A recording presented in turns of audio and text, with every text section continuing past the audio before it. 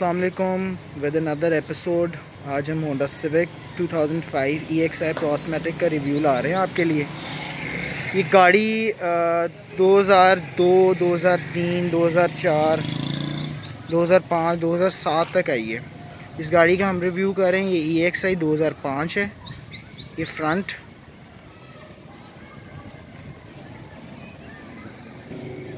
Side view पे आप देख सकते हैं इस गाड़ी को रेम्स लगे हुए हैं और ना afterwards will go on the back the car is from back you can see lights and all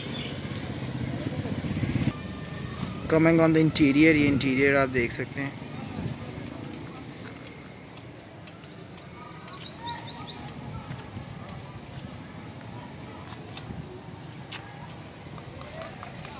from the front अब इसके बाद हम बैक पे चलेंगे। फ्रॉम द बैक देख सकते हैं हेड हैं इसमें। और दरमियान में कप होल्डर्स और फ्लैट फ्लोर है। ये पाँच लोगों के लिए बेहतरीन जो है गाड़ी है। जी तो अब हम इंटीरियर में आ गए हैं और गाड़ी की ड्राइव और हमारे साथ इसके ऑनर हैं। क्योंकि ज़ाहिर सी बात है कोरोना की वजह से थोड़ा सोशल डिस्टेंसिंग की वजह से हम बिल्कुल साथ साथ बैठने के बजाय जो है हमने उसको प्रेफर ये किया कि हम आगे पीछे बैठें। तो एरेज सबसे पहले कुछ क्वेश्चंस आपसे होंगे। काइंडली अपनी आवाज़ थोड़ी लाउड रखिएगा ताकि ना रिकॉर्ड सही हो जाए। ठीक है। कैसे हैं आप सबसे पहले तो? बिल्कुल ठीक। अब व्यर्स को भी अब अब इस गाड़ी के बारे में आपको ये गाड़ी आपने कितना अरसा हो गया आपको लिए हुए फर्स्टली भाई मुझे सात मंथ हो गए सेवन मंथ हो गए मुझे। अच्छा सही सही सही। सा, सात महीने पहले आपने कितने की ली थी ये गाड़ी अगर आप पसंद करो बताना? ये ली थी सात नब्बे की। सात नब्बे की? अच्छा और तब ये गाड़ी जो थी इसी कंडीशन में थी? ये क्योंकि माशाल्लाह अब तो बहुत खूबसूरत लगती है। किट वगैरह आपने सब? इतनी कंडीशन में तो नहीं थी मैंने खुद तैयार की अपने मिलने बोलना अच्छा तो अरे जब आप गा, गाड़ी ली थी तो ये बिल्कुल स्टॉक कंडीशन में होगी सारे काम वगैरह सब कुछ आपने बाद में कराई है एंड्रॉइड पैनल आपने तो अंदर से वुडन ट्रिम्स और ये लेदर ये बाद में करवाई है मैंने। अच्छा ये बिल्कुल बाद में आपने कराई। अच्छा तो बेसिक उसके बाद अब क्योंकि सबसे पहला जो क्वेश्चन होता है ना लोगों का सबसे पहले वो होती है इसकी फ्यूल एवरेज लोग समझते हैं सिविक की फ्यूल एवरेज जो है वो बहुत जो है अच्छी नहीं है फ्यूल पे। तो आप क्या कहोगे इसके बारे में? मेरे हिसाब से कहना है कि मुझे तो बिल्कुल ठीक दे रही है। लोकल अच्छा। दे रही है दस कर रही है अच्छा, और लॉन्ग पे तेरह तेरह साढ़े तेरह दे रही है। अच्छा एक इसी से रिलेटेड ये 1.5 होती है प्रोस्मेटिक ऐसे ही है ना ई e अच्छा ये 1.5 के लिहाज से आपको इसको गियर में कोई लैग वगैरह कोई इस तरह की चीज़ तो नहीं महसूस होती नहीं, है? नहीं, कोई लैगिंग वगैरह नहीं है। बिल्कुल बहुत बेहतरीन है चलाने में। बेहतरीन स्मूथ ड्राइव है बिल्कुल।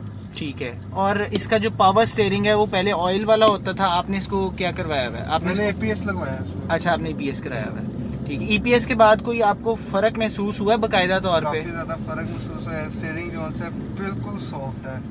वो जो है हाइड्रोलिक था वो थोड़ा सा मसला करता था अच्छा। भारी था वो। एपीएस लगवाने के बाद बिल्कुल सॉफ्ट हो गया। अच्छा ठीक है।